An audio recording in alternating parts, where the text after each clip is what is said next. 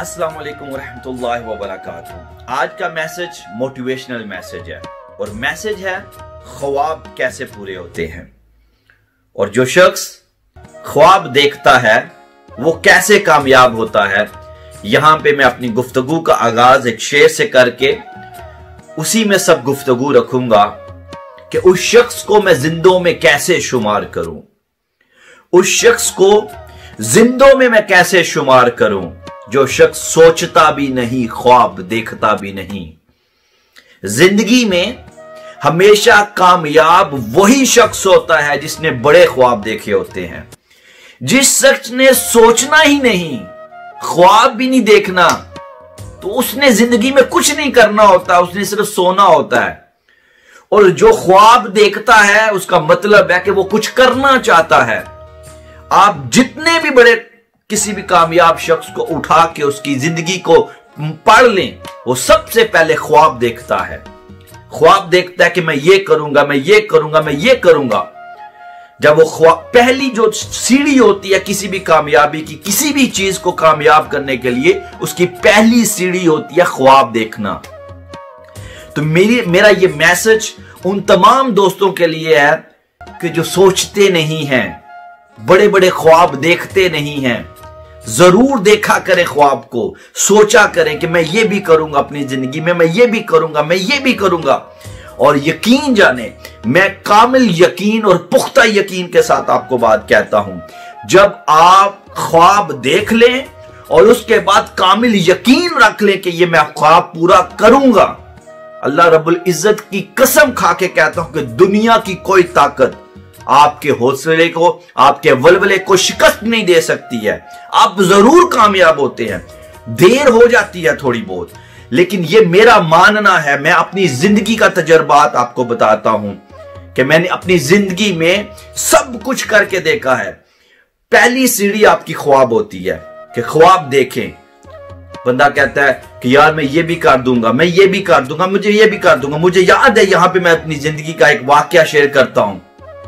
मेरे वाले साहब बाटा शूज़ कंपनी में मुलाजमत करते थे तो मजदूर आदमी थे। तो दूसरे कमरे में मैं बैठा हुआ था तो मैं भाइयों के साथ बातें कर रहा था कि यार, जब मेरी शादी होगी ना तो मैं चाहता हूँ कि छह सात दिन पहले ही जो है ना तंबू कनाते लग के जो रोला रोला पै जाए ताकि मज़ा तो आए ना, शादी कौन सी रोज रोज करनी है। तो दूसरे कमरे में मेरे बाप ने सुना जब, मेरे वालिद ने सुना जब तो उन्होंने उधर से जवाब दिया हो प्यो, तेरा थे बैंक के लगा है ना? ठीक है? अब देखिए, एक तरफ़ कुछ भी नहीं है, ख्वाब है। उस ख्वाब को पूरा करने के लिए आई थिंक कि मुझे 20 साल लगे। 20 साल लगे, मैं बाहर आया, फिर वो ख्वाब मैंने पूरा किया एग्जैक्टली और इस चीज़ की गवाही मेरे रहने वाले अहबाब, जो हल्का अहबाब जहाँ पे हम रह के आए हैं बाटा कॉलोनी में, वो बताएँगे कि भाई ये बात सच कह रहा है। उसका मतलब कहने का क्या था कि ख्वाब आपने पूरे करने हैं, आपके वलवले ने पूरे करने हैं, आप एक दफ़ा तयन कर लें कि मैंने ये चीज़ करनी है तो आप कामयाब होते हैं अपनी ज़िंदगी में।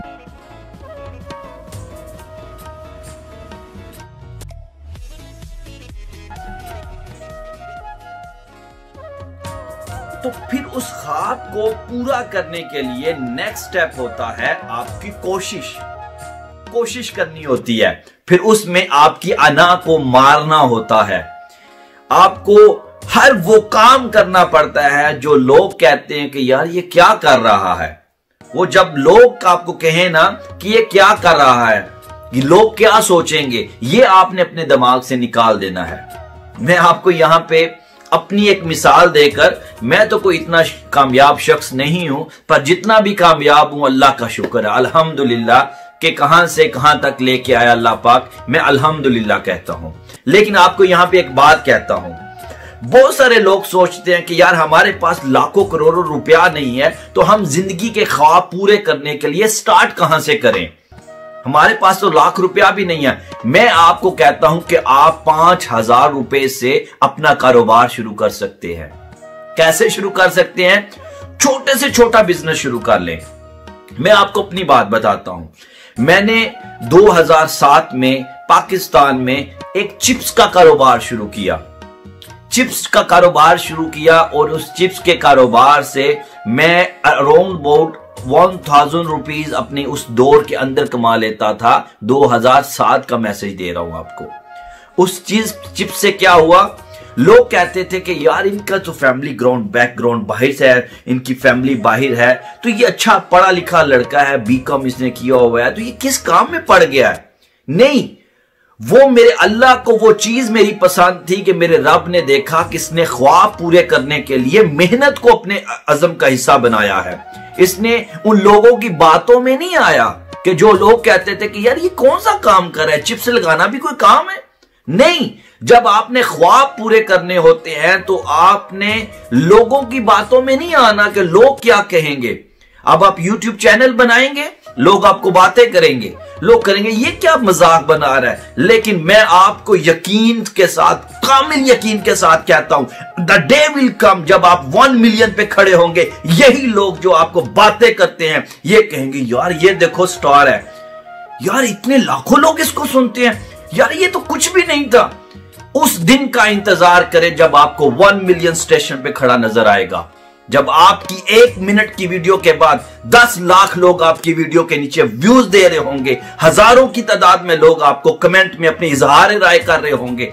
उस दिन का इंतज़ार करें। मोटिवेट इसलिए मैं करता हूँ आपको कि ज़िंदगी में कभी भी अपने आप को ये ना कहें कि आप कुछ नहीं कर सकते। सब कुछ आपके अंदर मौजूद है। सिर्फ़ हिम्मत करने की ज़रूरत है।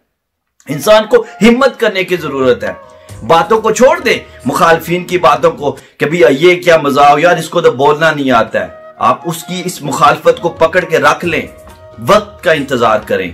मेरा ये मानना है और ये मेरा मज़बूत यकीन है इसके ऊपर कि आपने अगर अपने दुश्मन को शिकस्त देनी है, अगर आप चाहते हैं कि आपकी किसी ने मुखालफत की, आपकी, आपका मज़ाक उड़ाया है, उसको आप अगर शिकस्त देना चाहते हैं तो उस दिन का इंतज़ार करें कि जब आपकी कामयाबी का झंडा आसमानों पे होगा तो आपकी कामयाबी आपके दुश्मन की सबसे बड़ी शिकस्त है।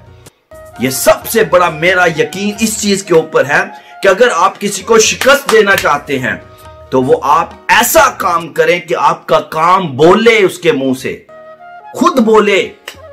आपका काम बोले, वो शिकस्त, सबसे बड़ी शिकस्त होती है। हाथ से किसी को मार लेना या किसी को गिरा देना, ये शिकस्त नहीं है। आपकी कामयाबी आपकी शिकस्त है। और बिल्कुल आप बड़े इंसान बन के दिखाएँ, अपना कारोबार शुरू करें और लोगों की बातों को छोड़ दें कि लोग क्या कहेंगे। कहने दें, फिर एक दिन आएगा जब आप मिलियन बनेंगे, आप एक कामयाब शख्स बनेंगे। तो वो जो मेहनत आपकी बेसिक से स्टार्ट की होती है ना, वो रब को पसंद होती है। उसी में सब, उसी वजह से अल्लाह ने आपका अगला मुकाम देखना होता है कि इसने जब मेहनत का आगाज़ किया था, इसने कोशिश की थी, इसने अपने अंदर की मैं को मारा था। जब आप अंदर की मैं को मार लेते हैं ना, कि लोगों को, लोगों का नहीं सोचते कि लोग क्या कहेंगे, फिर आपको एक टाइम आता है कि अल्लाह पाक आपकी ज़िंदगी में वो टाइम लेके आता है कि लोग कहते हैं कि यार देखो कितना कामयाब है, आप उस दिन का इंतज़ार करें। और यूट्यूब के ऊपर जो मेरे बहन भाई इतनी बड़ी तादाद में चैनल्स बना रहे हैं don't bother about the sum of the peoples उनका काम ये होता है कि जब आप कुछ नहीं करते ना तो कहते यार ये बेल है, कुछ नहीं करता है। तो जब आप कुछ करते हैं तो कहते यार, ये क्या कर रहा है? जब आप कुछ नहीं करते तो कहते यार कुछ भी नहीं करता। तो जब आप कुछ करते हैं तो कहते यार, ये क्या कर रहा है? उनके लिए वन मिलियन वाला स्टेशन का इंतज़ार करें। हिम्मत नहीं आ रहे वन मिलियन के स्टेशन का इंतज़ार करें। वो दिन आपकी कामयाबी का दिन होगा। और यहाँ पे लास्ट बात करके आपसे इजाज़त चाहूँगा। कि आपके ख्वाब पूरे करने में आपके मुखालफिन का बहुत किरदार होता है। उनकी जो कई बातें होती हैं, वो आपके अंदर जज्बा, वलवला पैदा करती हैं। यहाँ पे एक मिसाल देकर अपनी गुफ्तगु का अख्ताम करूँगा। एक ट्रेन होती है ना जब जब वो डेस्टिनेशन पे उसने पहुँचना होता है। लेट्स सपोज़ लाहौर से शुरू हुई और उसने कराची जाना है। तो वो अपने सफ़र का आगाज़ करती है। वो आहिस्ता आहिस्ता ट्रेन स्टेशन को जो अपना टर्मिनल होता है, उसको छोड़ती है। आहिस्ता आहिस्ता आहिस्ता आहिस्ता वो अपनी स्पीड को तेज करती है। जब वो फुल स्पीड तेज पे जा रही होती है ना तो उसको भी छोटे छोटे जो स्टोन्स होते हैं, जो पत्थर होते हैं ना, वो उड़ते हैं लगते लगने के लिए कि रुको। अगर ट्रेन हर छोटे पत्थर जो उसको लग रहा है, उठ रहा है, हवा में उछल कर उसको लगता है, अगर हर छोटे पत्थर का ट्रेन रुक कर जवाब देगी तो ट्रेन अपनी डेस्टिनेशन पर राइट टाइम पर नहीं पहुँच सकेगी। इसी तरह आपके मुखालफीन होते हैं। अब वो क्या होता है? पत्थर उठा, उसने कहा ट्रेन को रुको। ट्रेन ने क्या किया? इग्नोर किया, उसने अपनी स्पीड को जारी रखा। जब उसने इग्नोर किया, अपनी स्पीड को जारी रखा तो वही पत्थर जो उठा तो उसको लगने के लिए कि रुको। लेकिन रुके नहीं, वही पत्थर उस पटरी के नीचे आकर पिस जाता है। वही पत्थर पिस जाता है, लेकिन ट्रेन अपना सफ़र जारी रखती है। तो आपसे मेरी ये रिक्वेस्ट है, अगर आप राइट टाइम पर अपनी राइट डेस्टिनेशन पे पहुँचना चाहते हैं तो don't waste time on your enemies आप अपने दुश्मन पे टाइम जाया ना करें। बिल्कुल अपनी अपनी जो मंजिल है, उसका तयन रखिए कि मैंने अपने वक्त पे, अपनी मंजिल पे पहुँचना है। आपका तयन आपका मंजिल होनी चाहिए दाएँ बाएँ नहीं होनी चाहिए। जब दाएँ बाएँ होंगे तो you will not reach on your destination on the right time ये मेरे पास आज का मैसेज था मोटिवेशनल मुझे नहीं मालूम कि आपको कितनी हेल्प हो सकेगी। आप अपनी राय ज़रूर दीजिएगा कमेंट में कि आपको ये मेरा मोटिवेशनल मैसेज कैसा लगा। अस्सलाम वालेकुम रहमतुल्लाहि व बरकातहू